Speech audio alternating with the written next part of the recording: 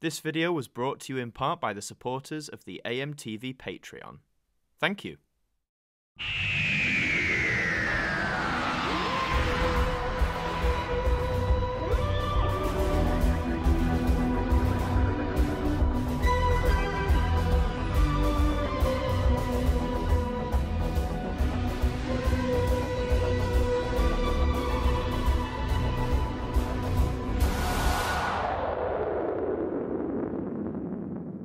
Hello everybody, it's Adam Martyn here and I have a very special unboxing video for you today. As you can see in this box, Priority Mail from the United States Postal Service are some Big Finish releases and I thought why I'd film this one is because these are a lot of out of print on CD releases, a lot of earlier titles from the main range specifically, these were all main range releases and I just thought it'd be really cool to go through them. So without wasting any time, let's see what I got.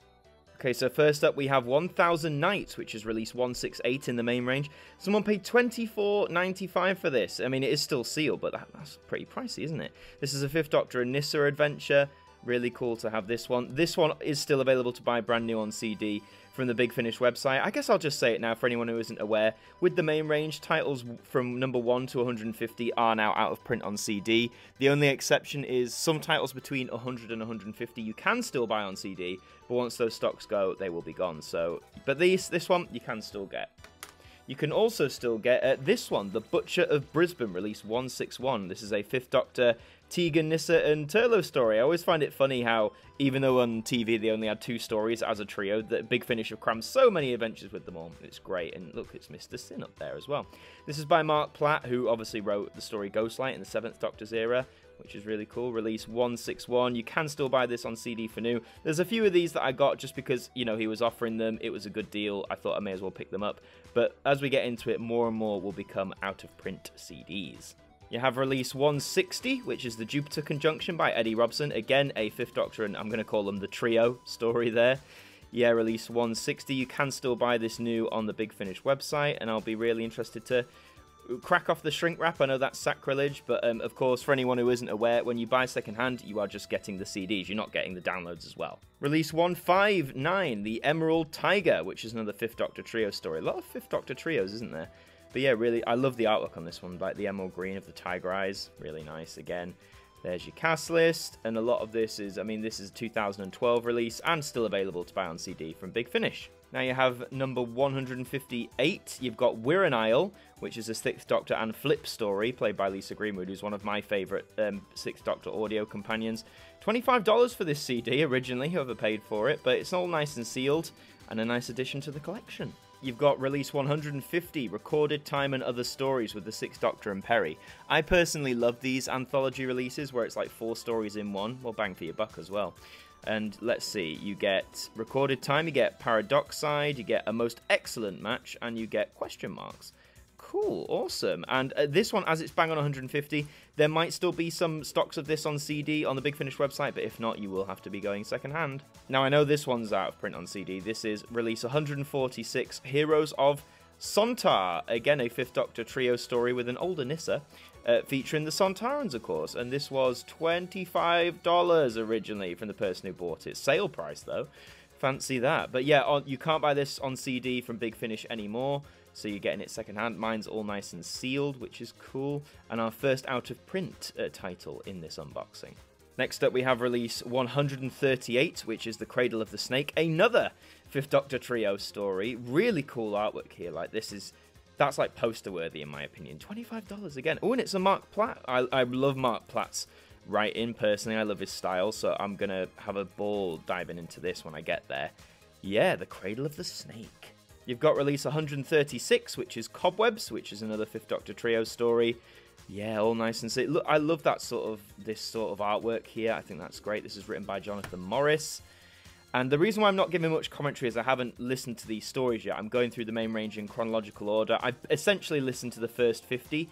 So, you know, if any of the first 50 titles here appear, then I'll give some commentary. But I'll be looking forward to these when I get there. You've got release 133, City of Spires, which has the Sixth Doctor and Jamie, an older Jamie. This is the first of a trilogy of stories featuring Sixie and Jamie, and thankfully I do own the other two, which is uh, The Wreck of the Titan, I believe, and Legend of the Cybermen, where Zoe also comes back.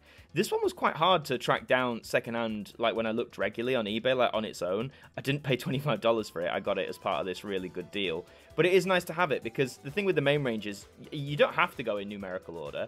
Like there are standalone trilogies, so I might listen to this standalone trilogy um, first. But yeah, really cool to have this as well. And I think this was the first main range release where they started including the reversible booklet. So I can't do it now because it's sealed. But you know, if you open it and flip it, it's got the Sixth Doctor logo. I could be wrong, but I think it is this one.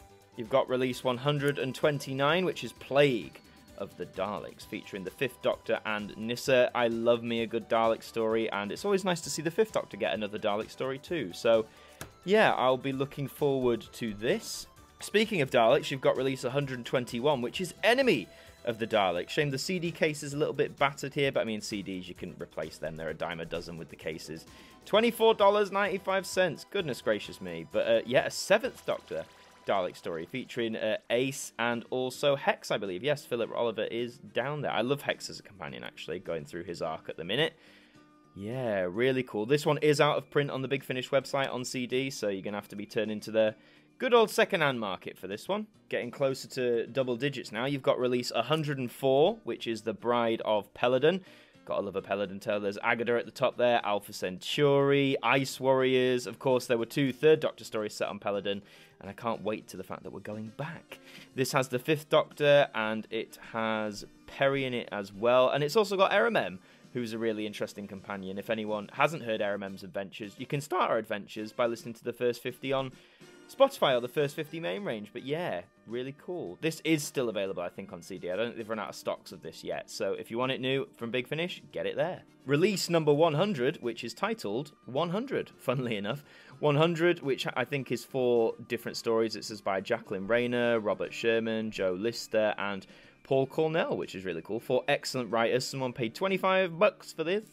But yeah, if we flip it round, yeah, you've got four different, or four different parts, is it? It's like oh no, you've got 100 BC, My Own Private Wolfgang, Bedtime Story, and 100 Days of the Doctor. Really cool. This, as it says, was the 100th release from the main range, so it's really cool that they marked it in this way with good old Sixie as well. God, I love that. So, yeah, really going to look forward to that one. But now, dear viewers, we are descending into double figures and titles that are most definitely out of print on CD from the Big Finish website. So bear in mind, you can only get these now on secondhand websites, and a lot of times they don't come for cheap. People like to charge a bit more for them. I mean, they are rarer, they are out of print on CD now, but make sure you're always getting a good deal. Okay, right, we've got release number 99 now Son of the Dragon which is the Fifth Doctor, and Peri and Erimem. This is release number 99, which is out of print on CD. You go in secondhand for this one. But yeah, really cool to own. We have release number 98, which is Frozen Time, with the Seventh Doctor. Doesn't say any of his regular companions, so maybe this one's a bit different. But yeah, really cool to have this one as well. It's written by Nicholas Briggs, who's also the voice of the Daleks, if you didn't know, from 2007 all the way back. So yeah, another nice release. Main range number 71, The Council of Nicaea. I think that's how you say it. I'm not sure. But this is a uh, Fifth Doctor story with Peri and Erimem. Looks really cool. Looks like a historical almost, which uh, I, I do quite enjoy a good big finish historical. Oh, God, I love these old style casings and oh, this just takes me right back. This was a 2005 release. I think this was actually one of the first main range releases I was aware of because it was around the time I started getting Doctor Who magazine back in the day, and this was advertised. So, yeah, looking forward to give this one a bash. Now we are descending to the first 50. Ooh, I know these have been out of print for ooh, for years. I think I think since like 2013. So coming across a lot of these was a big find, including this one, release number 46. It's Flip Flop, which comes in this lovely, uh, you know, big case with the two smaller discs in there. It's a Seventh Doctor and Mel story, and basically, so I have listened to this story via Spotify, and I guess the gimmick is, you know, flip flop being you can start from one end or the other end of the story. So here's the two ends. You can start from either end, go the either way, and it still makes sense. I wasn't the most enamored with this story. Maybe I wasn't concentrating enough. I don't know, but I, would I'd give it a chance at least. But it's really nice to own in the collection as well. You know, in its original uh, case and sealed as well. So yeah, awesome. Going one down to main range number 45, we have Project Lazarus, starring Colin Baker and Sylvester McCoy as two different doctors. I believe there are variant covers, so this one is Colin in the forefront, but I believe there is one where Sylvester is in the forefront as well, or maybe it's the reversible booklet, I'm not too sure. But hey, I have it. This was a really cool story. It is a sequel of sorts to Project Twilight, which is an earlier release, so I'd highly recommend you listen to that first if you get the chance. But this is a phenomenal tale. Oh, there you go. There's the full picture of six and seven there. It's a phenomenal tale. The acting by Colin and Sylvester is brilliant, and I just think it's one of the best. It's it's one of the best stories of the first fifty, in my opinion. So if you don't want to fork out for CDs, go and listen to it on Spotify. Next up, we have release number 43 Doctor Who and the Pirates, or The Lass That Lost a Sailor. This was a really cool release because, for those who don't know, there's quite a lot of singing in this. It's a very musical episode, which sounds odd, and Bill Oddie's in it as well. What more could you ask for? It's definitely not going to be to everyone's taste. I know there will be some people who would listen and despise this. However, if you like musicals, if you're just into a bit of fun when Doctor Who isn't afraid to sort of get really silly and really wacky, then I definitely recommend Doctor Who and the Pirates. Now, I've got release number 41, which is Necromantia. Now, this has quite a reputation for being very grotesque, being very deranged, if that's the word, being very like ew basically. And it is very out there especially for well not just a doctor who story a fifth doctor story one of the more like innocent doctors. It's the fifth doctor Peri and Erimem and yeah there's a lot of dark moments in this. I'm not gonna say any of them here but i mean it's on Spotify. Listen to it if you want, but I, I know it turns a lot of people off listening to this. And I didn't think it was that bad necessarily, but um, I can see why a lot of people don't like this one. So maybe go into this one with a bit of caution. Release number 39 now with Bang Bang a Boom, which is basically Doctor Who does Eurovision. So it's right up my alley because I'm a big Eurovision fan. I mean, look, it's even got almost like the stars of Europe around the two of them, the Seventh Doctor and Mel. There's lots of uh, guest stars in it as well. Again, this is just a really fun one. Not as silly as Doctor Who and the Pirates, I would say, but it's not afraid to sort of push the boundaries into being a little bit different, a little bit weird, which I think it can be Doctor Who Big Finish at its best. There's also a lot of references to quarks here, even though they're not in the story. So yeah, if you like a bit of camp, if you like a bit of cheese, then I think you will also really enjoy Bang Bang a Boom.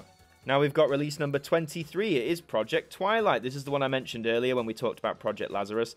This is like the first part in what can be like a long old story that you know look look it up on online to find out which ones to view. But honestly, this is actually a really good Sixth Doctor big finish. It's the Sixth Doctor and uh, Evelyn Smythe, who's brilliantly played by Maggie Stables. And this is just a really thrilling plot. I mean, the conceit is about vampires, and I've never been much of a vampire guy usually, but actually, I really, really enjoyed this story. There's a lot of great moments, uh, a lot of great moments for the Sixth Doctor as well. So if you like Sixy and you want to see some cracking vampire action, I'd highly recommend Project Twilight. Release number 21 now, we've got Dust Breeding, which is the Seventh Doctor and Ace. Yeah, this one was this one was all right. I, I feel I need to give this one another listen. I do enjoy a lot of Seventh Doctor and Ace tales because I just think they've got a really good dynamic. But to me, just in my opinion, I don't think this one stands out as much as say early releases like the Fearmonger or Colditz. But it's still very good in its own right. So if you like Seven and Ace, I think you'll like Dust Breeding.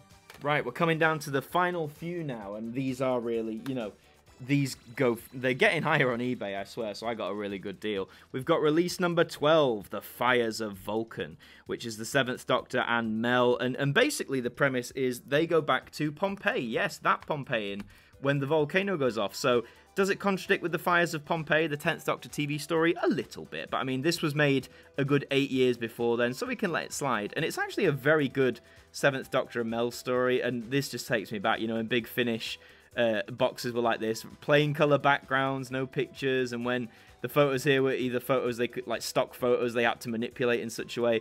It's it's such a different time looking at these these old covers, but I'm glad they're still there. You know, I'm glad they never really updated them for like re-releases or whatever. So yeah, I actually really recommend the Fires of Vulcan. Going into single digits, we've got release number nine, The Spectre of Lanyon Moor, which is a Sixth Doctor story with Evelyn Smythe, but also the Brigadier, as you can see on the bottom left, as they never really got a TV encounter unless you count Dimensions in Time, which you absolutely should.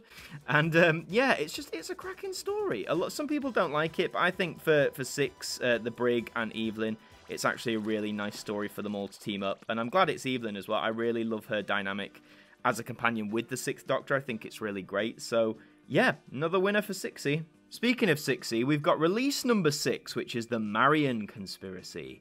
Yeah, I know, going way back. This was $25 when someone bought it, but yeah, this is the first story to introduce Evelyn Smythe as a companion really early on in the main range. I mean, this is a release from, I think, 2000. There's that old cover again. Yeah, copyright 2000, man. Over 20 years ago they were doing this. And I mean, yes, the cover's a bit basic. You know, it's a stock photo of Six and the fire. But hey, they had to work with what they got. But The Marian Conspiracy is a great introductory story for Evelyn. It's a great sort of rewriting of Six's character for for the better, better than what he got on TV, I think.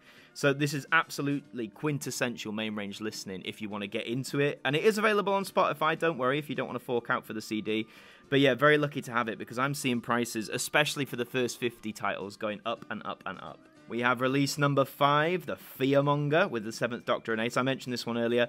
A really wonderful story, this one. I mean, it's it's classic Seven and Ace. You can see this being a TV story if you know if they ever decided to to make it into one. It's just a, a lot of good fun, very tense, very action packed. Big recommend. Maybe not the best Seven and Ace, but this is early days. This was 2000, man. But yeah, cracking start.